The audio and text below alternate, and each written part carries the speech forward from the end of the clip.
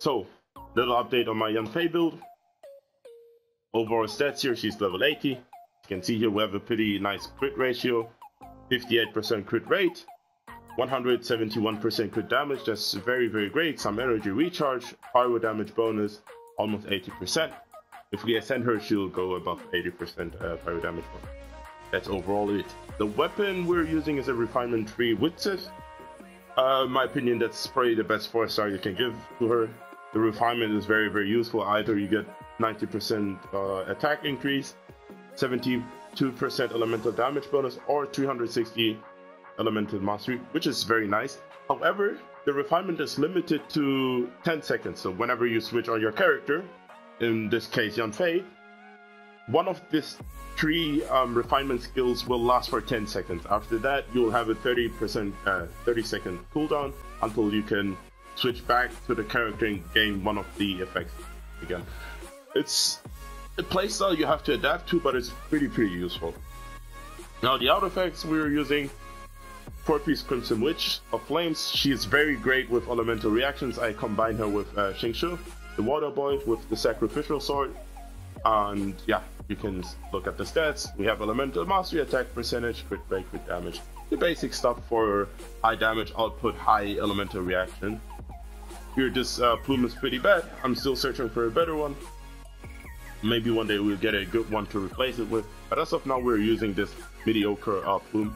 And yeah, we have crit rate, elemental mastery. Uh, what else do you need really?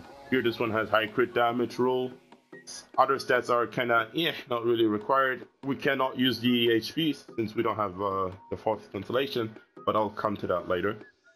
And the Pyro Goblet here, crit rate, crit damage, energy recharge, all fine, flat attack.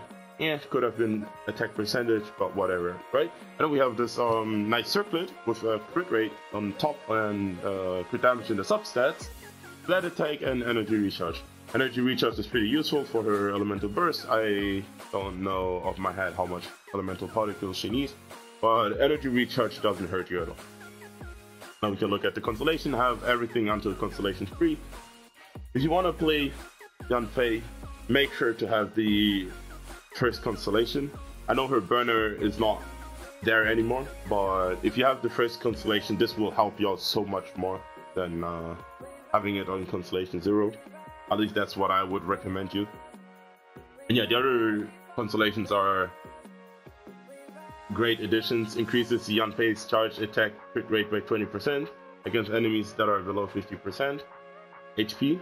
That's very, very useful. And then we have increase on the elemental skill damage. But yeah, it's, it's uh, basic stuff.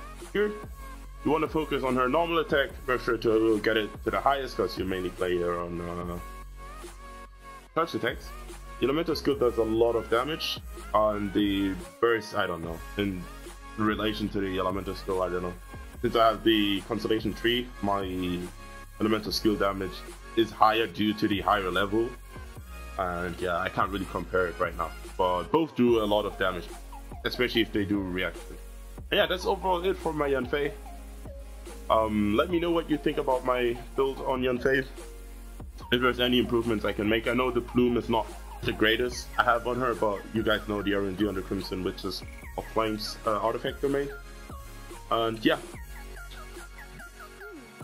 take care and uh, see you soon.